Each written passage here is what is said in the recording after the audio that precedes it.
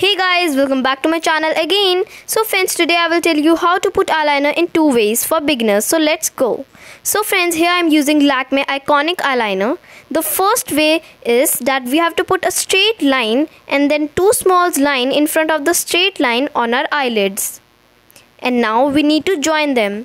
After joining, it looks something like this. Isn't it flawless? Wow, I loved it. So now the second way is we need a tape and now we need to cut the tape in two halves.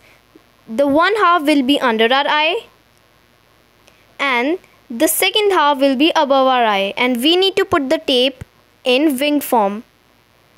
And now I'm again using Lakme eyeliner.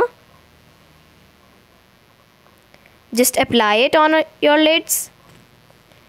And now it's time to remove the tape.